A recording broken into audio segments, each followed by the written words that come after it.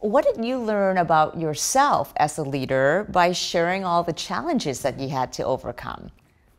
So I think the biggest thing that I learned about that, uh, which which I hope I intuitively was doing in my leadership style. I'm very much a people person, so mm-hmm. I've always been about like I think that really understanding uh, your teammates, the people on your team, um, the people that you're working with, um, really helps to get the most out of everybody, right?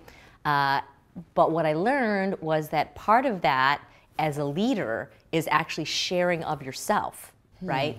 Uh, and actually being vulnerable or being authentic, um, not just bringing bringing your whole self appropriately to work, not just yeah. a one-dimensional uh, side of you. All business all the time is actually much more energizing uh, as a team member and as a leader. And I think that you know, kind of coming of age when I did, telling the prior story, right, where there were very few women, and so therefore I was, you know, extra extra, right? So I think you know, first generation Chinese immigrant parents, you know, everything was like oldest, you know, everything was follow the rules, follow the rules, right? And um, that was that was kind of a light bulb for me, right? Because I I, I came of age and entered the workforce mm. at a time when yes, it was very male dominated, but also so therefore you didn't want to stand out as a woman, so you wanted to be super professional, mm. super prepared, and not show too much of yourself because showing yourself would be different than the nine other people in the room. Yeah. Um, so it was kind of counter. So it was a light bulb for me.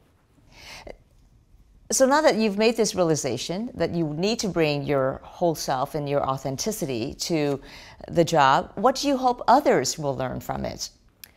I, I hope that others will um, see that uh, that by sharing, you know, challenges, failures, vulnerability, that they that they won't see that as a sign of weakness, mm-hmm. but that that is potentially a sign of strength in the terms of strengthening the bonds with your team.